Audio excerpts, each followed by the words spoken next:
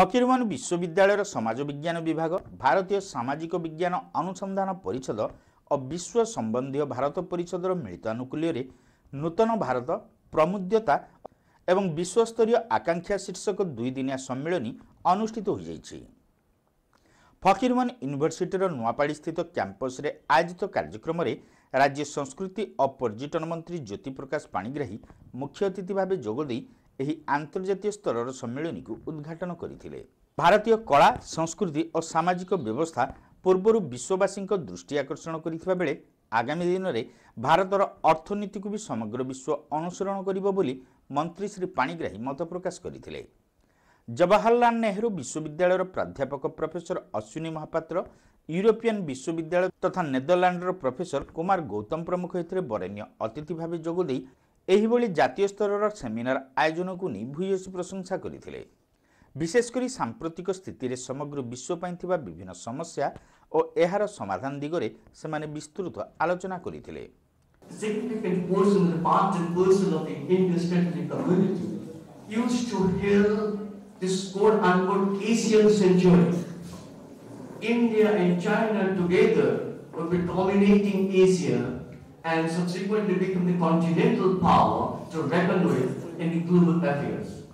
All that great expectations or the optimism, the overly optimism expressed by many scholars and analysts of the time were belied by 2011 onwards when the American scholar began to revisit their own thesis as regards China by saying, arguing, that the China rise is not quote unquote peaceful.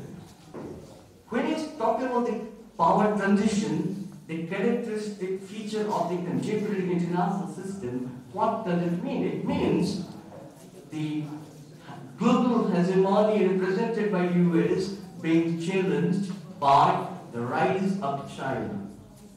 So how do you theoretically put it?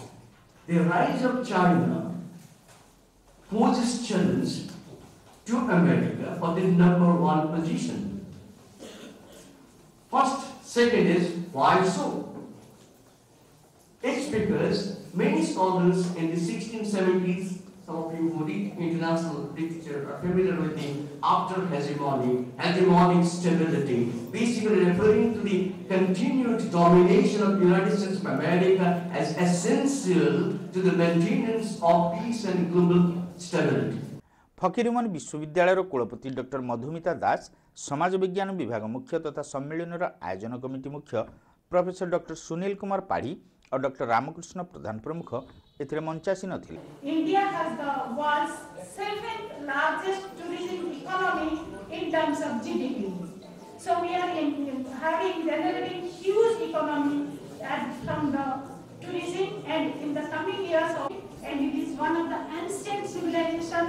or the history having more than 5,000 years and we have produced genius, genius not only in the field of mathematics, in as regards astronomy is concerned, the India has contributed zero to the world, calculus to the world, and also you can say we have introduced yoga to the world.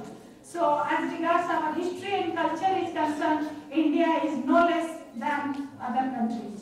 As regards infrastructure is concerned, with the coming, upcoming metros in all uh, metro railway system and bullet trains, and we have so many smart cities coming up in the India. So I think we will be in that we have some hindrances, we have some obstacles. The first is we have added, adding to low literacy rate, the poverty, unemployment, and also we can, I must mention the corruption also.